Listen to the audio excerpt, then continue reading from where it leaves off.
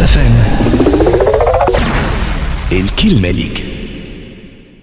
قررنا باش نعملوا coup de gueule زوز خاطر coup de cœur وكأنه معناتها فماش برشا حب ليامات فما أكثر هكا coup de gueule نجموا نحكيوا عليه. ولا ولا الشاي في تبوس والقلب فيه الناموس إي ما نجموش نفلموا عليكم نقول لكم coup de cœur يطلع coup de gueule ما- نجيش. نبداو بالطبوبي أمين عام اتحاد العام التونسي الشغل اللي رد على إبراهيم سيس وقال أنتم في سلة المهملات نحكيو.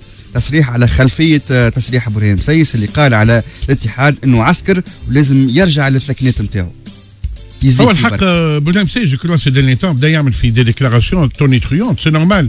آه، لكن يرد باله من الاتحاد التونسي للشغل انه الاتحاد العام الاتحاد العام التونسي للشغل ماهوش سيدي تاتا وهو أدرى بهذا ويعرف. دونك رد عليه والرد كان مستفيض وحتى الرد معناها فهموا منه الناس وأنه قال حتى النداء كانوا في سله المهملات. حبوا الناس يعطيوها هذا التأويل. الاتحاد العام التونسي للشغل يبقى قوة منظمة وقوة أساسية. واليوم هاو نشوفوا les débats budgétaires كما العام اللي فات. ولا نشوفوا وقت اللي ترجع كتيبة الموت. نلقاو الاتحاد في الصدارة. ما ينفيش وانه اليوم ثم أرستقراطية عماليه وثم كذلك آه، بيروقراطية نقابية. وثم كذلك حياد بالعمل النقابي عن les fondamentaux نتاعو. لكن أساسا تنجم تقول على الاتحاد كما واحد. نجدوه قالوا له le père des peuples تعرف le père des peuples هو ستالين أب الشعوب قالوا له شنو ال bilan تاعهم؟ قال globalement positif. يعني يبقى اتحاد عام تونسي الشغل راهو مش سهل باش نصدموا فيها. كيكا وإحنا كما قال عنتر بن شداد ما كان اسمراني هو أسمر اللون وأمه معناها عبدة. يقول ينادونني في السلم يا ابن زبيبة وإذا حلت الحرب يا ابن الأكارم يعني الاتحاد حسنا به كان كبش نطيح. يلزم هو كذلك يفهم الدور نتاعو اليوم آه، le syndicalisme de papa ما عادش موجود والدور نتاعو توا في العصر هذا لكن هو ممتع الاتحاد يبقى من الضمانات الكبيرة نتاع بيت تونس. البارح بالك والله قبل لي نقرأ في document دخلت الأمور في مخي جبت document qui date de 1963 l'un des meilleurs livres une thèse تعملت على الحركه النقابيه التونسيه عملها le père Mamy le syndicalisme tunisien de 1881 1956 اللي نوتيبي حتى مش واحد أول اضراب عام وقع في تونس عام 1900 كمان c'est pas une chose معناها تاريخ في الإضرابات معناها تاريخ كبير.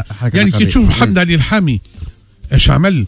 وتشوف معناها الشركات اللي أسسها التعاونية معناها الجمعيه التعاونية ولا جمعية الوفاق الودادي ولا جمعية عمالة الرصيف ومن بعد يعمل جامعة آه، جامعة آم، آه، آه، عامه العمل العمومية التونسية وحاجه société ما سموها هكايا. وتشوف معناها أول إنسان يأسس نقابات في العالم الثالث هو محمد علي الحامي. وغيره تفهموا أنه الاتحاد في النسيج نتاعنا آه، موجود. donc هنا نقولوا آه، معناها il faut pondérer les choses لكن مش معناها الاتحاد فوق النقد. يلزم الناس يفهموا الاتحاد يقع نقد الأداء نتاعو آه، العام اللي فات شفت الاتحاد ثم بعض المسارك معارك خسرها. من الأداء نتاع النقابيين نتاعو كما في التربية. ربحوا الن- النقابيين لكن خسروا صورة النقابي كما النقل وغيره donc اليوم il faut faire la part des choses أما مهاجمة الاتحاد زمن السلم كما بكري نحكيو ثم ناس يحبوا يشدوا القصر بين القطوسه باش غدوه وقت اللي يعملوا. تفريك الدولة وتفريك هياكلها الكل يلقاو ما ثماش اتحاد عام تونسي الشغل. والاتحاد العام التونسي للشغل c'est paradoxal لكن جزء من نسيج الدولة التونسية. وهو كذلك مرتبط آه، وأحد من بها إلى حد كبير. ولا. الملجأ الأخيرة أو الخيمة الأخيرة لل- للحكومة. وللديمقراطية. وللديمقراطية bien sûr. عندكم في ال- في ال page نتاع الاتحاد الشغل قال رد نور الدين الطبوبي على اللي ما يتسماش. أي هو ظاهرة معناها صارت حبش يقول برهان. أنا bon توا هو هو برهان ك خاطر لو ثم فرق بين تبدأ un politique وبين تبدأ un des médias l'homme des médias c'est un pourfendeur il rue dans les brancards ينقد parce que النقد هو c'est l'aristocratie d'intelligence أما كي تبدا un homme politique تتقيد لك على السياسة وقت. تو أنت حزب حاكم وتقول هكايا. تو كيما par exemple يجي ناس يعمل لك خطاب ويقول لك الحكومة بها وعليها هو مشى لك الحكومة. يقول لك أنت شكون اللي مشى لك؟ هذيك بالك آه، ذراع بالسيف جاو كتفوك وقالوا لك بالسيف مشى لك الحكومة. يعني تختار. donc برهان بسيس il a beaucoup de pertinence كي يحكي يوجع لكن لو كي توجع كصحافي ولا ك chroniqueur هو déjà ال animateur ال chroniqueur مش كيف. حاجة. و l'éditorialiste مش كيف. وكي تولي طرف سياسي في حزب وقتها تعرض نفسك معناها آه يرجعوا لك الناس. يقول لك كل امرئ أن ينفقوا مما عنده ويتغون لا موني تا بيس دونك اليوم آه النداء بتاتر يلقى روحه في صراع شق منه على الأقل من الشقوق العديدة نتاع النداء. في الصراع مع الاتحاد على هذايا. نفس الشيء محسن مرجوح. وقت برهان بسيس رد عليه وقال ما نختمش ما نجاوبش على موظف. يعني كانش يجاوبوا كان إعلامي كان بطريقة أخرى. لأنه مقبول وأنه الاعلامي يجي يقول لك أنا جيت الرئيس قلت له شنو أنت تحب تولي ديكتاتور بعد 90 سنة. كان جيت أنا سياسي قلت له يقول لي من فضلك وأنت ديكتاتوري وبيك وعليك وحجمك بيه وعليه أما كإعلامي خاطر تنجم أنت آه، تطرح تساؤلات موجودة حتى آه، في الشارع. donc هنا أنا نرى أنه تصريحات آه، برهان بسيس كسياسي مش تصريحاته كرجل إعلام واتصال. ما كانش إلا الإعلام والاتصال. ولا. توا صعيب لابد من الفصل بين الإعلام والسياسة يا إبراهيم الوصل والفصل كما قلت. في المؤتمر القادم نشوفوا حل في الحكاية هذه voilà شوف لي حل. سليمان الأبيض. آه ساعتك حل. كود جول الثانية نحكيو على أحداث حمام شط. كيما البارح كان الصهيوني خرق الأجواء التونسية واستهدف آه، ناشطين فلسطينيين في تونس. في حمام الشط 1 آه، أكتوبر 85 وكان عدوانا إسرائيليا كبيرا وإسرائيل عمرها ما هضمت بورقيبة فات بورقيبة نهار مشى له رئيس عرفات قال له شو نعمل؟ جبد له غصن زيتون من واحد قال له أمشي للأمم المتحدة بغصن الزيتون وغصن الزيتون في الأناجيل وفي العهد القديم وفي القرآن الكريم وفي الإسرائيليات هو رمز السلم. لأنه الحمامه جبت معها غصن زيتون وقت اللي وقع معناها الديلوج آه، وقت سيدنا نوح الطوفان. وذهب آه، ياسر عرفات أنا لما كنت صغير شابا يافعا كانت قضية فلسطين قضية آه، شعب مهجر وكانت قضية خيام في آه، مخيمات اللاجئين. حتى أنا محمود الدرويش عنده قصيدة اسمها سرحان يشرب قهوته في كافيتيريا يقول لا هوية إلا الخيام. إذا احترقت ضاع منك الوطن. وكان نضال الشقيري وغيره لكن أساسا الرئيس عرفات بعد معركة الكرامة عام 68 اللي دخل فلسطين المحتلة بالسلاح هو شخصيا و bien sûr جا معاه جورج حبش وجا معاه هاني الهندي وجا معاه وديع حداد وجا معاه أبو اللطف نايف حواتمة وغيره وطلعت يعقوب وغيره. وقاموا بالثوره الفلسطينيه وتحولت القضية الفلسطينية من قضية لاجئين إلى قضية حق تقرير المصير. بما فيها اختطاف الطائرات بما فيها أحداث مونيخ.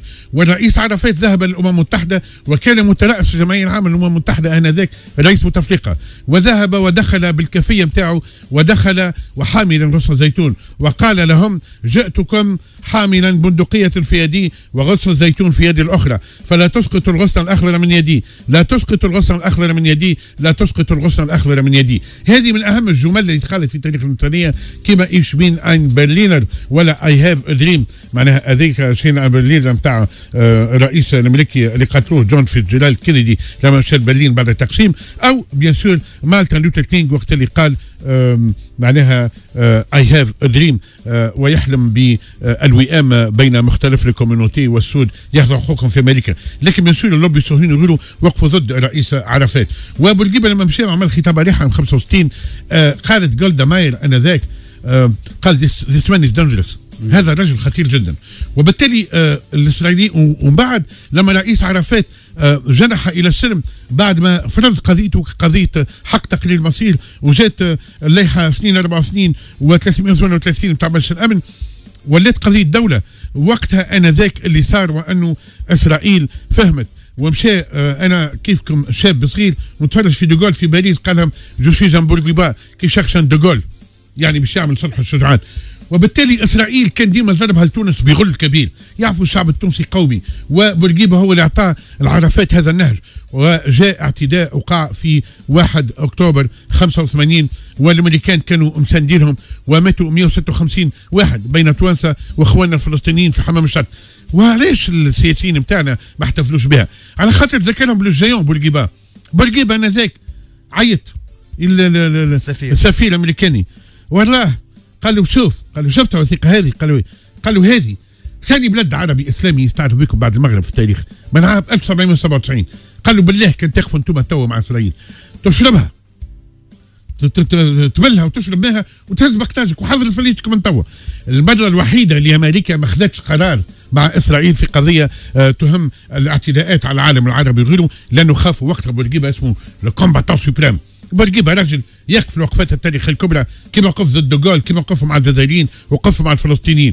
والاسرائيل داخل علينا لأنه عام 82 إسرائيل اجتاحت لبنان وإسرائيل كانت تريد المخطط نتاعهم بشلتوا عرفات وجورج حبش وتيسير قبعة وكذلك آه، أبو اللطف نايف حواتمة في قفص هزوم فلسطين محتلة ويحاكموهم. وتسكرت عليهم. سوريا مسكر عليهم من ذاك الوقت معارك في نهر البارد وغيره بس الوقت خرج المجموعه العربية هنا عاملة الاتفاق. ماذا يعمل الرئيس عرفات؟ يأتي بسلاحه إلى تونس ويهبطوا في تونس ودلين وفي بنزرت ويستقبلوهم بالكلاشن نتاعهم بالكلاشنكوف بالدكتوريوف بواحد يستقبلوهم وتمشي لهم وسيله هي نفسها. ويستقبلهم رئيس بورقيبة. وعرفات يقول هذا le grand combattant suprême رئيس بورقيبة. هو زعيم وطني وزعيم قومي. إسرائيل عندها غل على تونس لأنه التوانسه يعرفوا كما قال بورقيبه كان يقول من أين تأكل لحمة الكتف؟ كان يقول آه، أمر القيس مكرر مفرر مقبل مدبر عن كان جلمود يسخر حتى يصير من عليه مكرر. يعني هذا عليك مفرر نهرم مقبل مدبر نجدم عليك ونرجع. معا كجلمود يسخر حتى يصير من عليه جلمود صخرة قد صمصم هابطة والماء ومهبطها من رأس الجبل. ما شوفك الصورة هذيك. بورقيبه كان يعرف كان يسميها الترغيب والترهيب. وبالتالي إسرائيل كان متحبش. واليوم في عزل البارح راه وزير الدفاع ولا وزير الداخلية. ولا ممثل رئاسه الجمهورية أو ممثل الحكومة مع ممثل دولة فلسطين يسترجعوا هذه المآثر ويقولوا لحد الآن إسرائيل استعرفت فيما بعد بالاعتداء هذايا. وما سألتش التعويضات ما حبوش تعويضاتهم. أما نحبوا التعويض الأخلاقي وتعتدي على دولة كما تونس وبعد مدة تعتدي علينا ويقلب الجهاد وبعد مدة يعتدوا علينا ويقتل أبو إياد. اليوم لأنه عندنا أقزام والأقزام لا يمكن لها أن تنظر إلى les géants إلى العمالقة. ولو انه Bernard de Chartres قال nous sommes Bernard de Chartres جملة رهيبة. وقت قالوا كيفاش تبع في العرب؟ وقت كانت مدرسة طليطلة لو كانوا العرب يعطيوا في العلم والثقافة عند في بلاد إسبانيول قال لهم nous sommes des nains juchés sur les épaules de géants لكن هذا nains juchés sur les épaules de nains وبورقيبه من قبله يحييكم ويقول لكم صنعنا الملاحم واعطينا الدم وقضية فلسطينية قضية مقدسة وتبقى كما قال آه، بومدين وبورقيبه وعبد الناصر الرجال. هذوك اللي حملوا هذه القضية وتبقى روح بورقيبه إلى البارح إلى غدوة. ويمكن التدارك ويمكن تذكير الشباب التوانسة بالموقف اللي خذ بورقيبه وقال للأمريكان أرقدوا في تبنكم بدأوا شدوا دياركم ونقطع معكم العلاقات على قضية كما قضية فلسطين. أكيد يسمعوا فيك شباب توا وقاعدين آه، مع تفخورين باللي باللي عملوا بورقيبة وافتك آه، استنكار الأمم المتحدة اللي آه، اللي مشى bien sûr. لا على وقتها تحب نحكيو بدون أي شيء. الباجي قاد السبسي لعب لعب رهيب. كان هو وزير الخارجية ومشى إلى مجلس الأمن وعباس بشكون وقتها؟ عباس نتنياهو. نتنياهو كان ممثل اسرائيل وقرار في ثلاث أيام تتخذ الامم المتحده المجلس الأمن الامم المتحده بإدانة إسرائيل والامريكان يسكتوا أنا ذاك قرار تاريخي وقتها كان. قرار تاريخي كبير لكن نحن لسنا في مستوى التاريخ. التونسي كي تقول له راك أنت ولد عقبة بن نافع راك أنت ولد ماسينيسا. ما تعجبوش الحكاية. كان تقول له لك مخزن يقول لك آه، متى نعود للتاريخ؟ سؤال مطروح بالحق. Cap FM الكلمة ليك